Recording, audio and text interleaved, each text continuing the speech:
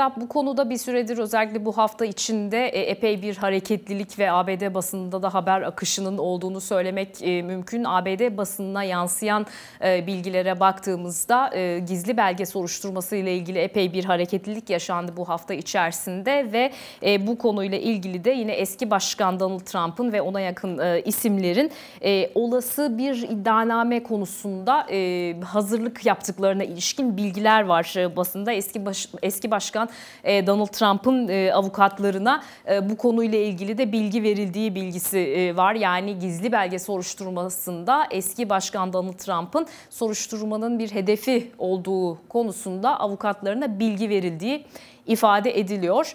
E, bu konuyla ilgili olarak e, pazartesi günü başka, eski başkan Trump'ın avukatlarının Adalet Bakanlığı yetkilileriyle bir araya e, geldikleri biliniyor. Hatta e, Trump da e, bu konuda basında haberlerini yer almasının ardından kendi sosyal medya platformu Truth Social üzerinden yaptığı bir açıklamada bu pazartesi günü yapılan görüşmeyi de yine e, doğruladı ve bu görüşmeden sonra da şöyle bir mesaj e, paylaştı eski başkan Donald Trump. E, yanlış bir şey yapmayan beni Adalet Bakanlığı nasıl e, suçlayabilir e, dedi.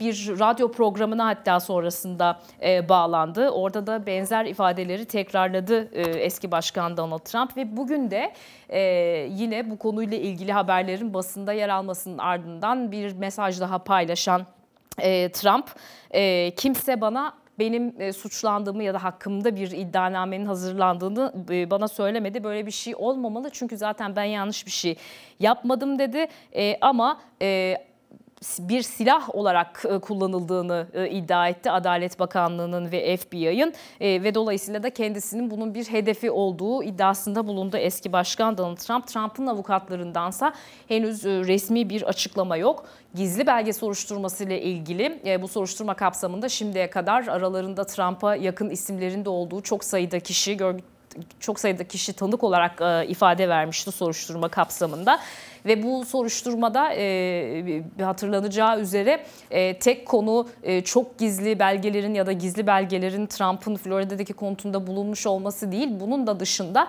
Adalet Bakanlığı yetkilileri kendisinden bu belgeleri iade etmesini, teslim etmesini istediğinde e, Trump'ın e, buna yanaşmaması, bunu yapmaması da soruşturmanın konularından bir tanesini oluşturuyor. Dolayısıyla e, soruşturmanın acaba engellenmesi çabası da mı vardı? Buna da bakılıyor bu kapsamda Mehtap.